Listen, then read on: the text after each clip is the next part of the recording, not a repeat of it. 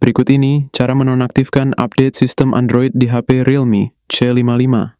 Mungkin kalian tidak ingin update sistem secara otomatis. Nah, opsi tersebut dapat kita matikan. Kalian masuk di setting atau pengaturan. Di bagian atas sini ada pencarian. Ketuk pencarian. Di sini saya dari pencarian supaya lebih cepat.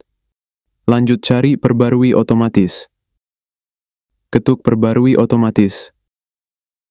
Nah, untuk mematikan update secara otomatis, ketuk unduh otomatis. Nanti akan tampil empat pilihan.